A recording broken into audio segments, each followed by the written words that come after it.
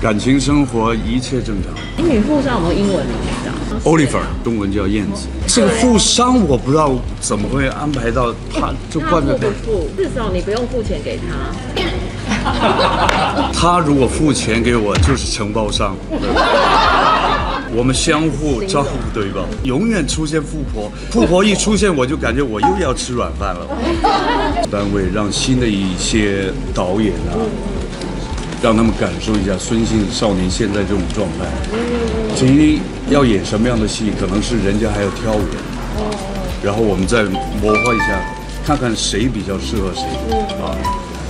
会有尺度的限制吗？尺度当然就除了三级片了。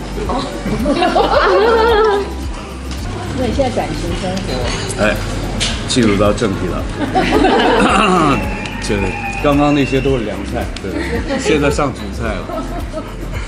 感情生活一切正常啊。女富商有没有英文名字啊？Oliver，Oliver 叫燕子，中文叫燕子，燕子。这个都富这个富商我不知道怎么会安排到他，就那惯着他？至少你不用付钱给他。他如果付钱给我，就是承包商。我们相互照顾对方，相互照顾对方。那你你现在一个月就是开销大概多少钱啊？啊、简单来说就是、呃还有香港的爸妈嘛，呃，安老院，对对，然后还有一些，反正我的开销就是一坨现金，对，大概有多少数字？啊、算数就就就是一一坨，对对对。嗯反正我还能吃得消，还能吃得消。现在内地都得，所有都永远出现富婆，富婆一出现，我就感觉我又要吃软饭了。其实我一直在努力，很努力的在拼搏的去去赚钱，对，维护我身边的亲人啊、家人的一些保障。他也在台湾吗？妹妹她在大陆，在那里要。暂时分隔两地这样。呃，没问题，他很豁达。他说，如果你真的台湾如果有机会，然后让你去拍戏的话，你就去吧。那时候跟美珍复合，为什么会又破裂？又会破裂，因为我太晚熟了。这个爱情这块还没稳定，哎，太调皮了。但之后应该会稳住了，稳住了。对的，因为都已经六十了。因为说真的啦，就是你回来住在天母也算你家，对不对？也算，对对对对对。但我们都蛮担心的担心什么？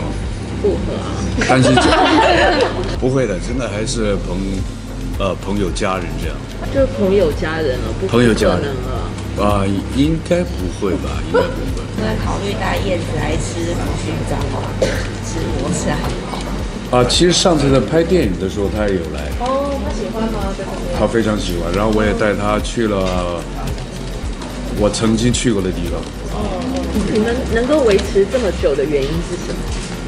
也让你不再调皮定下来的原因？他是让我笑的人，他有让我笑，对，他有给我快乐，比较豁达包容。以前认识他之前，我我可能是一匹野马。认识他之后，现在变成一匹野驴。以前出了状况呢，可能一直担心失去谁，失去谁，失去这个朋友。